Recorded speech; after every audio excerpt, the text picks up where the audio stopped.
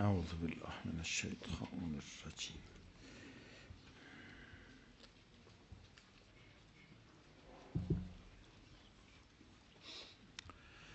بسم الله الرحمن الرحيم. الحمد لله رب العالمين. ولا حول ولا قوة إلا بالله العلي العظيم. الصلاة والسلام على سيدنا ونبينا خاتم الأنبياء والمرسلين أبي القاسم محمد. صلى الله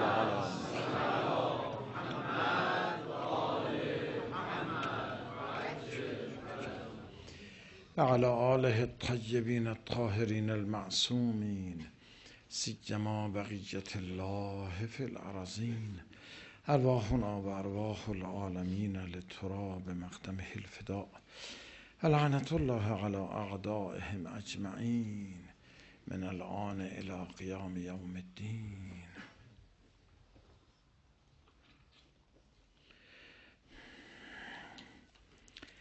طرح عالم طرح ساختمان عالم برای این ریخته شده است که از این عالم انسان موحد به دست بیاید.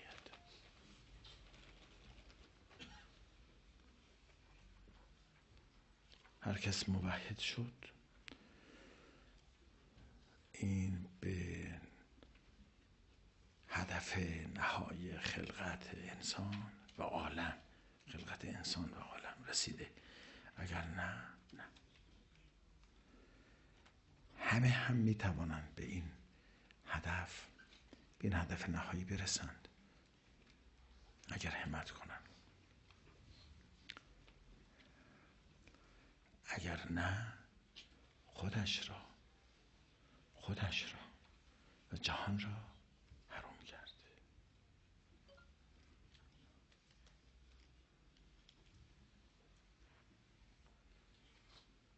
خیلی حرفی مهمی بود عرض کردم. هدف نهایی خلقت انسان این است که موحد بشه.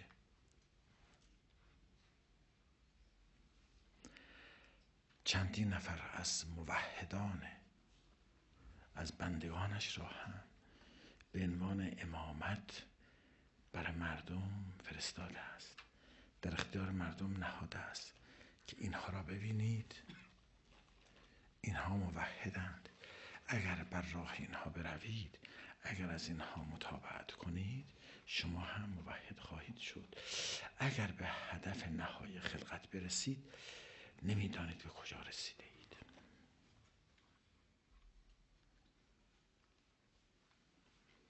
امروز و هر روز موحدانند که بر عالم بر عالم خلقت سلطنت می کنند امروز و هر روز موحدانند که بر عالم بر عالم خلقت نه انسان و این جهان ما.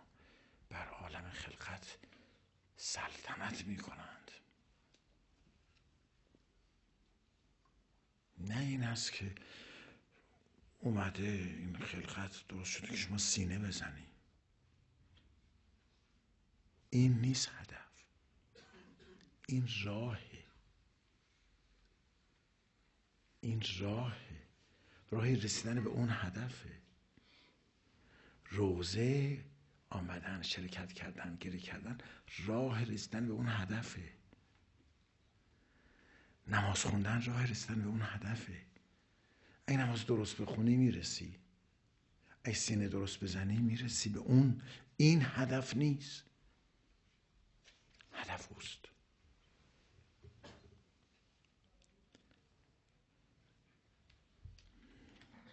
یه ده خوشبخت بودن به این هدف رسیدن.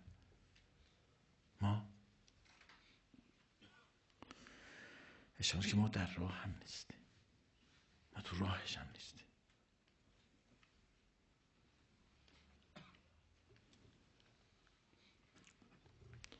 یه چیز دیگه می‌خواستم عرض کنم. حالی من عرض کردم و شما شنیدین و انشالله با صحبت های بعدی یادتون میره و بعد هم یادتون میره. اون قصه نداره.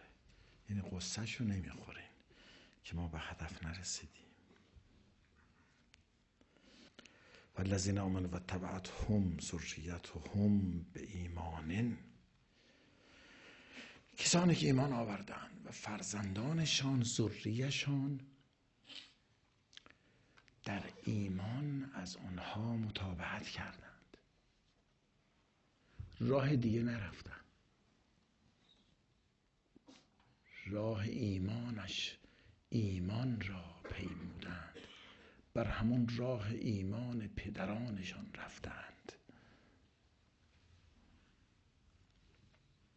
سادات فرزندان امیرالمؤمنینند خب اگر آنها بر راه ایمان جد بزرگوارشان رفتن همان راه را پیمودن. راه دیگه نرفتن.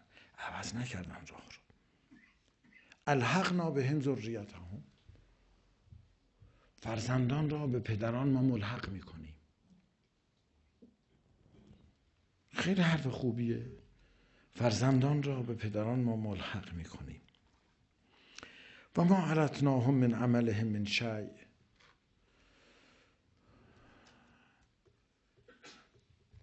در از عملشون در عملشون اشکالی پیش نمی آوریم کم کم بود. لفظ هنوز درست به نظرم نمیاد. در عملشون بهشون مثلا کم نمی‌ذاریم در عملشون. حالا نمی‌خوام عرض کنیم ما. یه مطلب دیگه می‌خوام بگیم.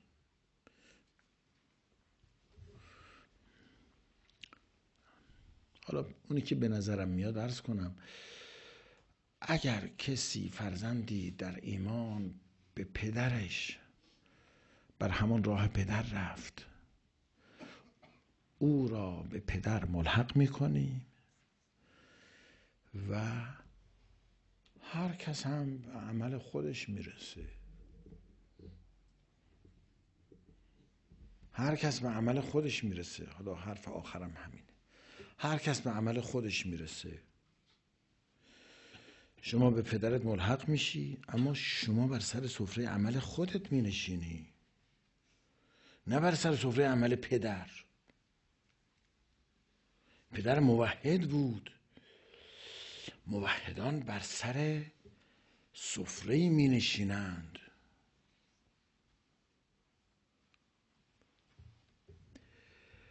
موحدان بر سر سفره می نشینند بر سر اون سفره از دست خدای تبارک و تعالی رزق می‌خورند.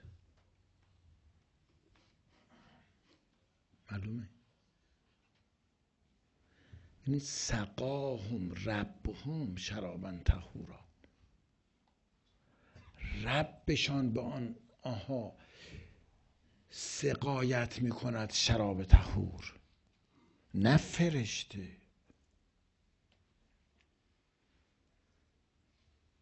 موحدان بر سر سفره می نشینند که سقاهم ربهم شرابا تهورا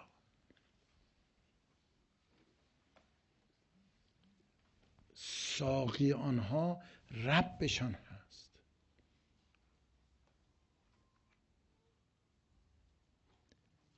حالا مثلا عرض می‌کنیم آن کس که بر سر آن سفره مثالا نان می‌گذارد اون ربشانه حالا اینجا مثال سقایت رو فرمودن. سقایت می‌کند ساقی. سقایت می‌کند ربشان آنها را. مهمان می کند ربشان آنها را. پذیرایی می کند ربشان آنها را.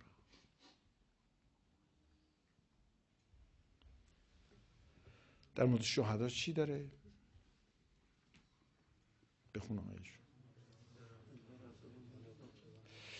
اونجا میگه نزد ربشان نزد ربشان رزق می‌خورند. اینجا میگه که خود رب آنها را رزق می‌دهد. ما اینو می‌فهمیم آقا یعنی چی؟ خب نمی‌فهمیم ولش کن. اما یه چیزیه دیگه یه چیز خاصیه. خب این بچه اگر اهل اون درجه نبود خب اون دیگه اونجوری نه. کنار باباشم نشسته اما اون ربش او را سقایت می کند ربش به او روزی می دهد در نزد ربش نشسته است و رزق می خورد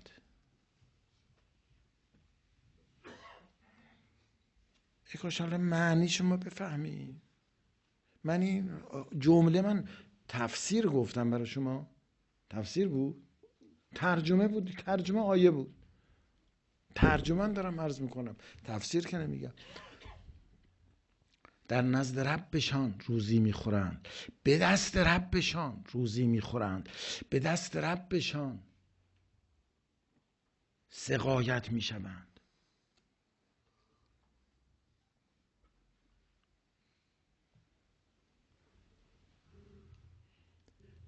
کسی که به دست ربش سقایت می شود به دست ربش روزی می خورد اصلا یاد خودش میفته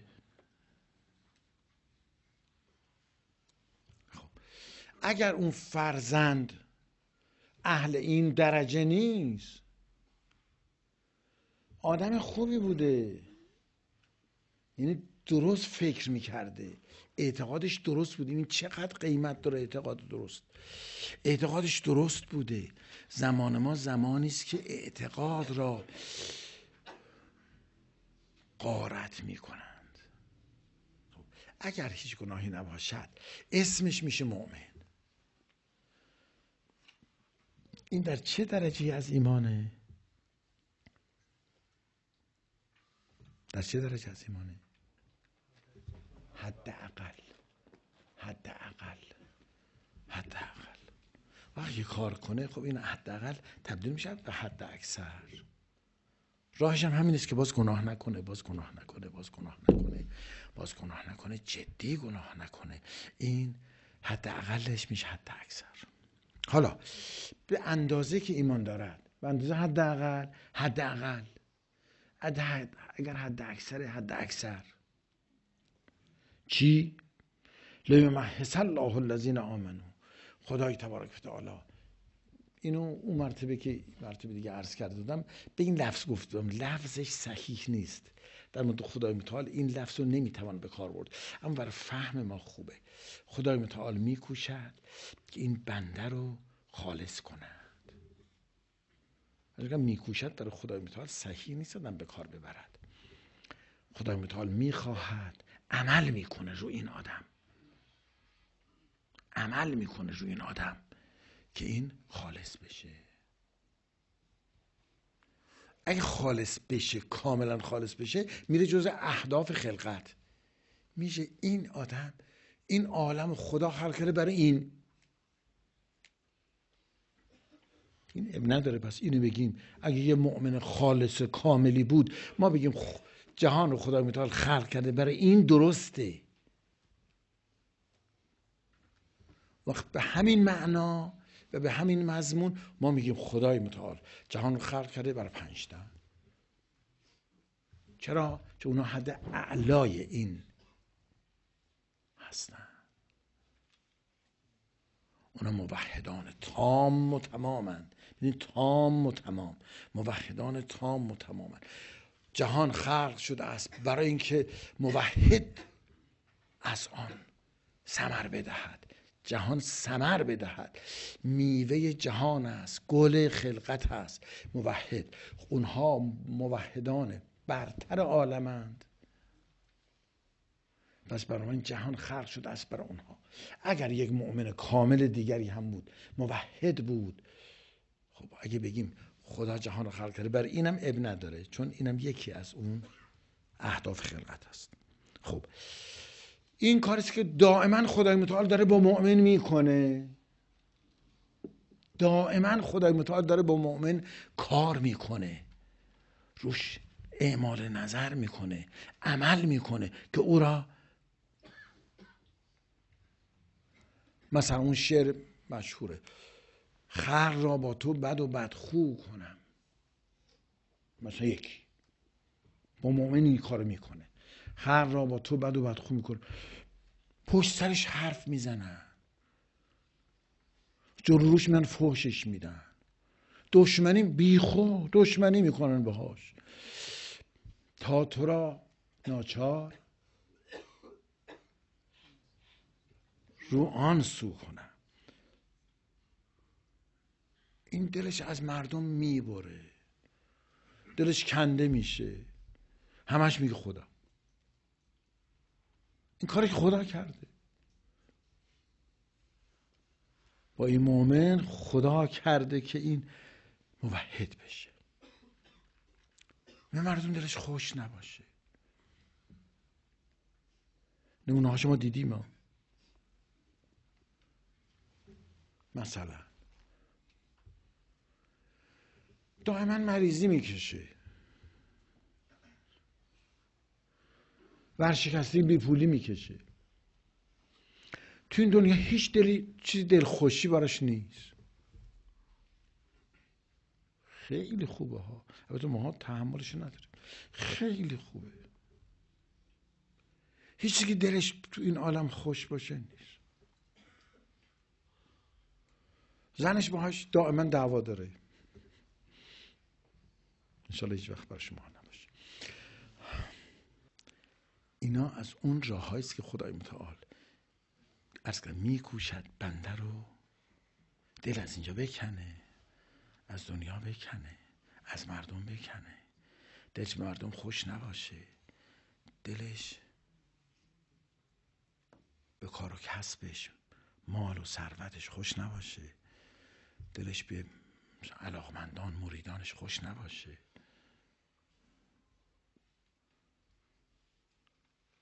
فقط و فقط بگه خدا. این معناش چی آقا؟ آدم فقط و فقط بگه خدا. یعنی موحد شده. فقط دلش به خدا خوشه. این. برای من شما این نیست. چون معلومه که همچی طرحی برای من شما نیست. ایمانمون به اونجا نرسیده است که خدای متعال در مورد ما تصمیم بگیرد که